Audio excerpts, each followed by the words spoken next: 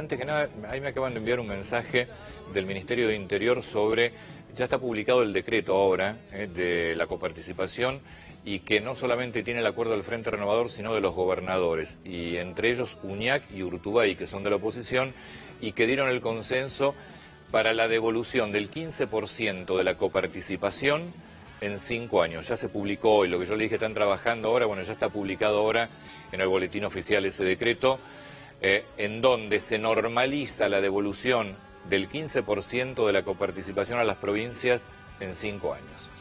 Nos metemos en este tema. Ya revisamos el Ministerio de Cultura, ¿te acordás? Te contamos el Ministerio de Cultura que encontraron. Eh, te contamos la semana pasada en la Secretaría, no, hoy, esta semana en la Secretaría de Comercio.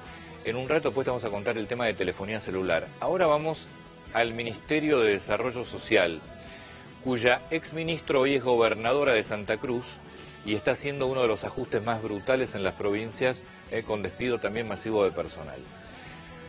Stanley, la nueva ministra, Alicia Kirchner, la ex ministra. Vamos, por, vamos a empezar, mirá. 26 páginas de organigrama fueron necesarias para explicar cómo funciona el Ministerio de Acción Social, lo que tiene obviamente es una mega estructura, como muchos organismos que a lo largo de los años fueron hasta inventándole gerencia tras gerencia tras gerencia para poder ubicar gente.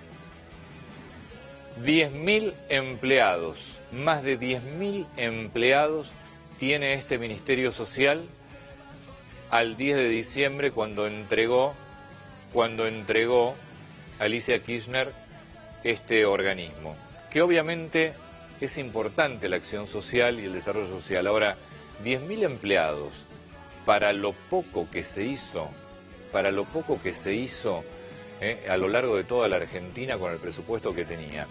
350 personas ingresaron el último año.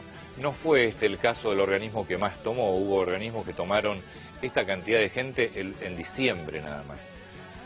Seguimos repasando números, ¿eh? y esto es lo que primero se conoce, ya se van a dar a conocer las auditorías y qué es lo que encontraron. 120 empleados pertenecen al área de prensa, 120 empleados solamente en el área de prensa. ¿Qué hace el área de prensa? Básicamente, bueno, por supuesto hace un brief de todos los de todos los temas, de todos los, los medios de comunicación, hace un relevamiento de lo que se habla y lo que se dice sobre las actividades del ministerio, se lo informan a la ministra, a los funcionarios de turno.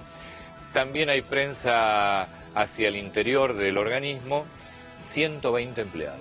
120 empleados. Es una de las estructuras de prensa más grandes que existen en la Argentina. 90.787 millones es el presupuesto del ministerio. 90.787 eh, es el este presupuesto equivale, te diría, al presupuesto de todos los de cualquier municipio tiene un presupuesto mucho menor, ¿eh? Pero cualquier municipio tiene un presupuesto mucho menor con mucha más cantidad de gente y más necesidades, ¿eh?